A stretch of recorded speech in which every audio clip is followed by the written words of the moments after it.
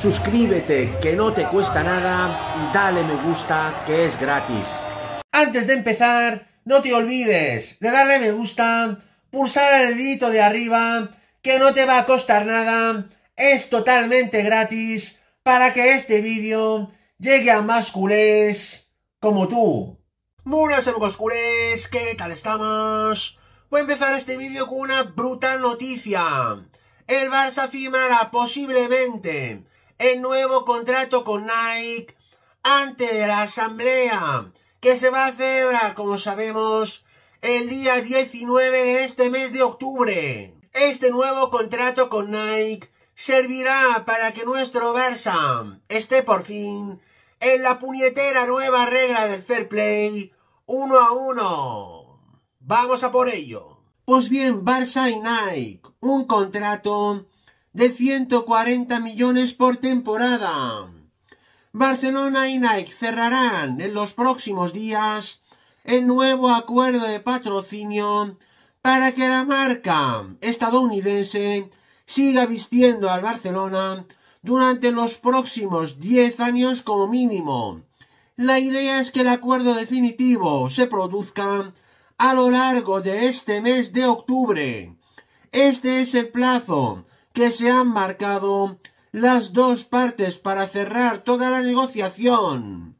Las líneas generales del acuerdo ya están pactadas y ahora solamente faltan algunos detalles y ver cómo se reparten las cantidades que percibirá el club Blaugrana. Nike pagará 140 millones de euros por temporada al Fútbol Club Barcelona en ese periodo de tiempo.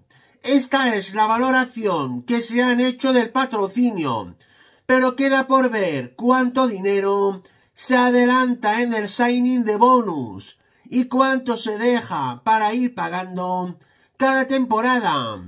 El club podría recibir de manera inmediata 150 millones de euros por esa prima por la firma y recibir cada temporada entonces 125 millones de euros. Este es el punto, entre otros, que están acabando de definir ambas partes. Pues bien, para el Fútbol Club Barcelona es muy importante el signing de bonus. Por una parte, porque esta semana el club, como sabemos, anunció el cierre del ejercicio de la temporada 2023-2024 con unas pérdidas de 91 millones de euros por los impagos producidos por la venta de una parte de Barça Vision. El club necesita de manera urgente ese dinero para aumentar sus ingresos y que estas pérdidas no lastren al club. Facilidades para fichar. Además, con el nuevo contrato de Nike, el club regresaría a la famosa regla del fair play financiero 1-1, uno de los objetivos prioritarios que se ha marcado a la directiva de Jean Laporta para el próximo mercado. En este momento hay varios jugadores que no están inscritos para la segunda parte de la competición. Estar en la regla 1-1 permitirá efectuar estas inscripciones con mayor facilidad y sobre todo acudir con plenas garantías para el próximo mercado invernal y veraniego. El anuncio del acuerdo. Una de las cosas que queda por ver es cuándo se anunciará este contrato con Nike.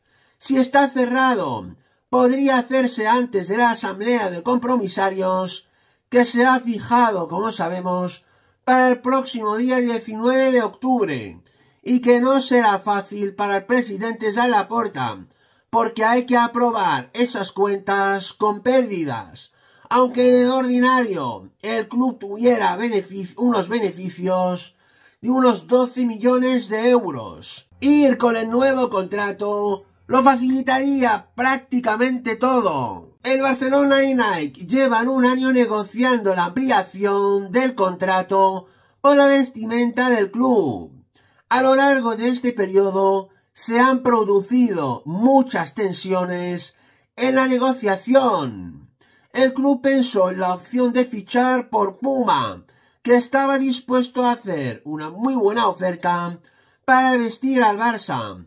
Incluso Jean Laporta puso sobre la mesa la opción de crear su propia marca de ropa deportiva, aunque rápidamente se vio que esta opción era prácticamente inviable. A lo largo de la negociación, Jean Laporta también quiso resolver el contrato ante ciertos incumplimientos que según el club había realizado la multinacional estadounidense.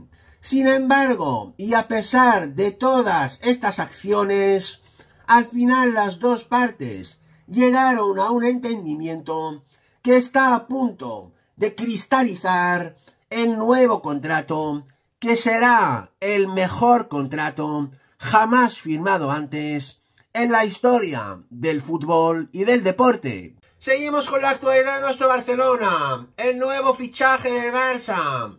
Chesney ya entrena con sus compañeros y su estado de forma es brutal. Vamos a por ello. Pues bien, Chesney ya se entrena con el grupo en una sesión con Gaby. El Barça prepara el duelo contra el Alavés con la gran novedad del meta polaco. Chesney ya se entrena con el grupo. El meta polaco está participando en su primera sesión con el equipo, tras ejercitarse ayer por la mañana en solitario en la ciudad esportiva. El de hoy es el primer entrenamiento del Barça para preparar el encuentro de este domingo ante el Alavés, tras los dos días de descanso que Flick dio a la plantilla. Chesney podrá empezar a familiarizarse con los que serán sus compañeros hasta final de temporada.